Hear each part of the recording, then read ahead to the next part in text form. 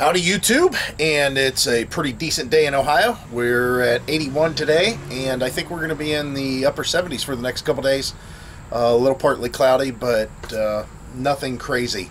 I know the weather's strange enough to have these bugs show up again. I hate these things. Yeah, that little bug right there. And I got another one. He's trying to get in right there. Like there's another one that did get in. He's right there. Yeah. These bugs kind of show up and all I do is scoop them up with this thing. Look how many's in here. I've had this for a while now, but if I just shake it and the bug falls in, that's pretty much it. He's stuck in there from now on. Luckily, those things don't stink. I always call them stink bugs, but I don't think they are. All right, what am I doing today other than killing bugs? Let's show you. What have you been up? I've been riding on a daydream. Well, first I got to go out and get the mail because I've got a package out there, but I'm heading towards the RV. Now, because we're getting ready for our daughter's wedding, um, Heidi's a little on the scatterbrain side, and this one item went missing. yeah, it's the keys for the RV. So what happened? Yeah, we had to get into the RV, so I had to break through. Now, this door has been an issue for a little while um, for a couple of reasons. So I drilled out the deadbolt. She had the deadbolt locked, and uh, I finally got this latch. I just kind of pried that out.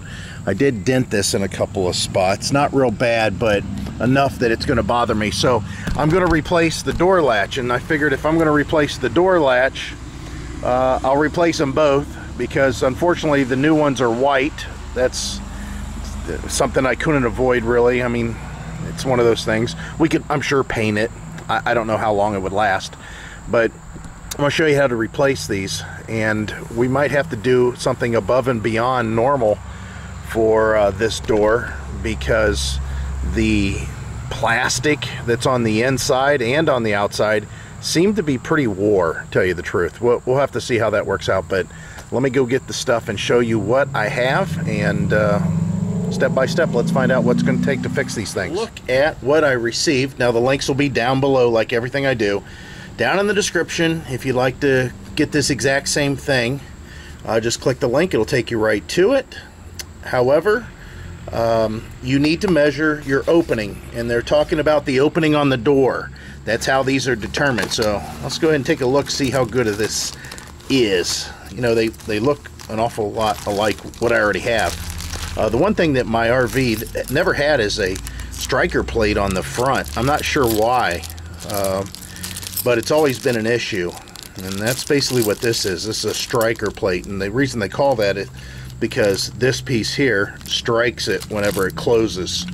Um, again, I've never had that. Now, the other reason that I wanted to replace both the front and the rear is because one key opens this, opens this, and opens both on this one. So I basically have three extra keys. Of course, we'll hide one away somewhere, maybe in the truck. Heidi will have a key, and then we'll put a key on the keychain, and then we'll have one extra one that will be floating around. But it's pretty straightforward as far as the way these things look and operate. They're all basically the same. And uh, as far as quality, this one does look pretty good. It's got a nice gasket uh, to seal on the outside. But again, I've got some weird things going on with mine. So let's go take a look at that. Let's go ahead and uh, pull that front one off, which is a trouble child. And we'll uh, replace uh, with this, hopefully.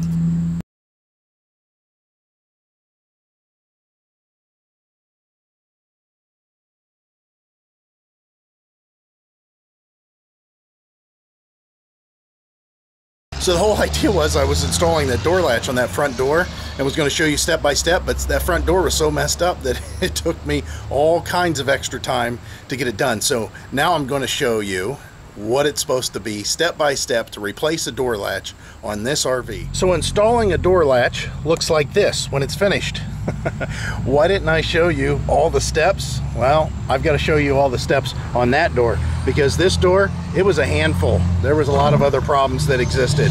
So let's go back here and I'll show you step by step how to replace your door latch with a new one. The first thing you're going to do, real simple, is remove the screws that hold this onto the door, just like you would think.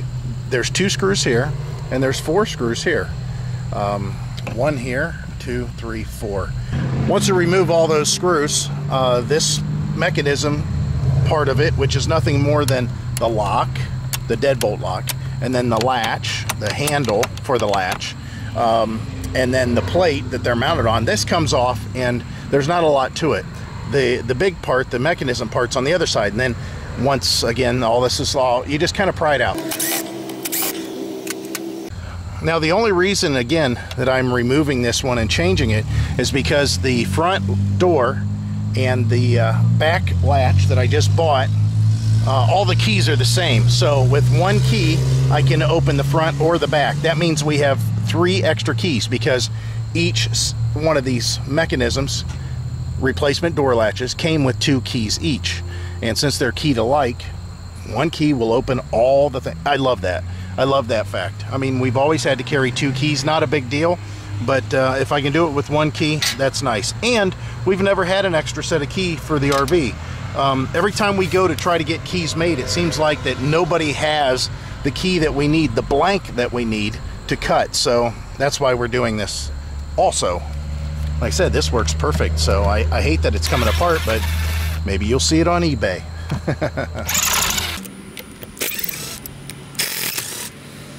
All right, so now that the four screws are out, you'll see this just comes right off. Nothing fancy about that at all. The uh, company's called Trimark. That's the original equipment this Trimark is. And for it being 1992, it's done pretty well all this what time. What you see here is I'll, I'll go ahead and just pry this out. Pretty simple. And that's it. It's done, it's out. Now you can see here the foam is wore away quite a bit. And this foam, that's the seal. That's the seal that keeps the water out. I'm looking at the wood here though, and it looks like it's it's still very good, so no water's ever really gotten in. That, that's, a, that's a plus.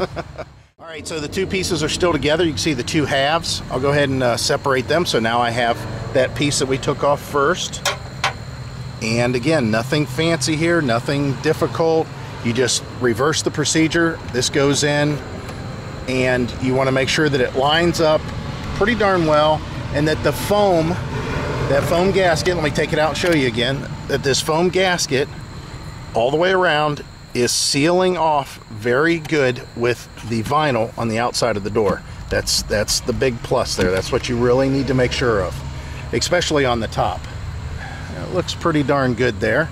So what I'll do first is I'll install they give you uh, two screws and a plate for this and then they give you four screws to hold on the uh, other part of the handle to, to put this together and then they give you a striker plate that goes onto the door now they don't give you the screws for the striker plate because most RVs already have that. The new plate has a section that's countersunk on one side and the screws that come with the kit, there's just two small screws you can see, they fit in there real nice and flush. So you want to make sure you put on the plate with uh, these countersinks facing out. Now when you go to reinstall the plate, there's a small side, there's a big side, and in most cases, like in mine, the big side goes towards the inside of the RV, the finished side of the door, the side of the door that sees the inside, and in my case, the bedroom. Uh, as far as screwing it together, you can use a regular Phillips screwdriver, or if you feel comfortable, go ahead and use a power drill. I've been using one for years, but you got to be careful not to strip things and you get them lined up um, before you tighten everything down or even start the thread. So I don't have it overly tight right now. I have it just tight enough that it's going to kind of hold position because that's really all I want to do is uh, have it hold position for me um, as I navigate this thing together and get the correct height and again make sure that that foam is um, sealing off on the outside quite well, which looks pretty close to there. And uh, yeah, that's pretty close. So what I'll do is uh, go ahead and start a couple of the screws, but I want to tighten this a little bit more to hold it right in position. Like I said, I've got it about where I want it. And, and the way that I know this, I'm looking inside here and looking at how much foam is exposed in the hole and I can tell how much is actually covering up on the opposite side. So now that that's relatively snug, I'm going to grab the rest of the screws that are provided in the kit, which look like this here. And this gets a little tricky. You have this latch mechanism here that activates this. You have to make sure that this catch is on this side, meaning this side. And I'm going to try to point to it. Maybe you guys can see it a little better in the video. Right here. You need to make sure this piece is right here. And then this piece here is a half moon or a D shape, however you want to look at it. And you have to make sure that your lock, which has a D shape also, matches up with that, which is kind of right about like, let's see, yeah, right there. And then this latch here, looks like that's caught. So everything looks like it's lined up pretty well.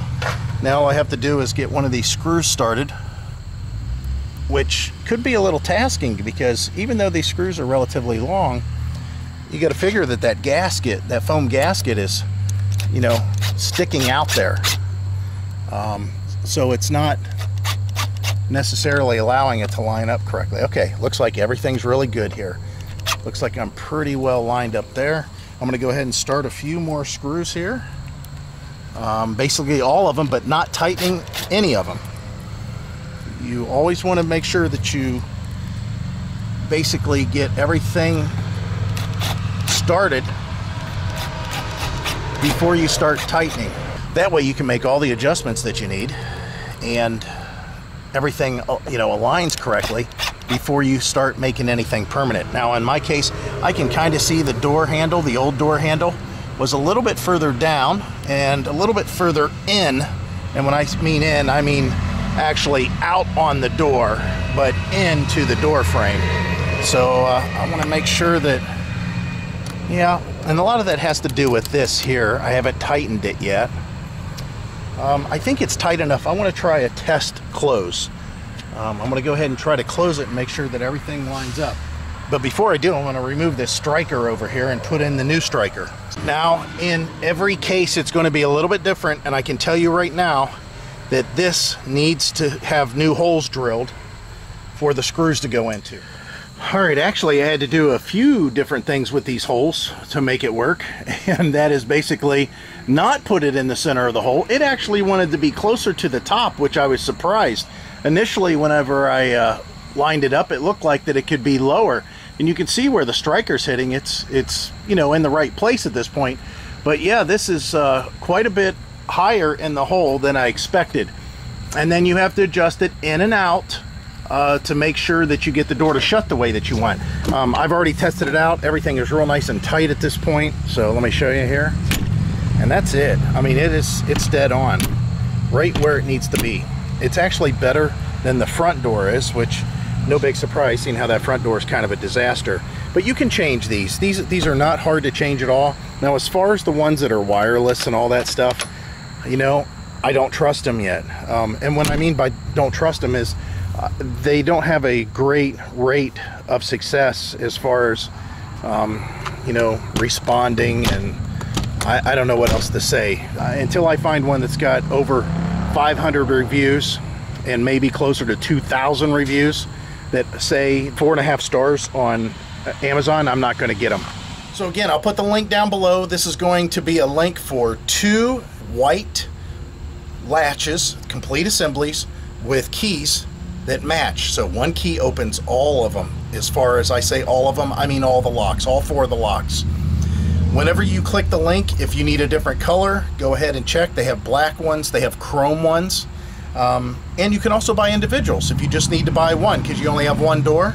Uh, it, you could you can look in there once like again you click the link it'll take you to the product and then from that point you can start shopping and see which one you want to go with. Um, but the white ones were the only ones that they had that were key to like, so that's the way I went. And it's not expensive. You're only talking about $60 for two of them. Um, that's not bad at all. I hope this helped you out.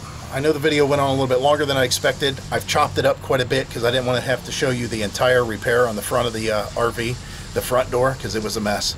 But if you like this video, click like or subscribe. And if you want to continue to see videos from me on a regular basis, I mean, as far as anything I post, you want to be notified, make sure you ring the bell. Click the bell that's down below. If not, you'll just get notified when YouTube thinks you should be notified, regardless if you're subscribed or not. So I appreciate you guys watching. As always, we hope to see you out there. Bye.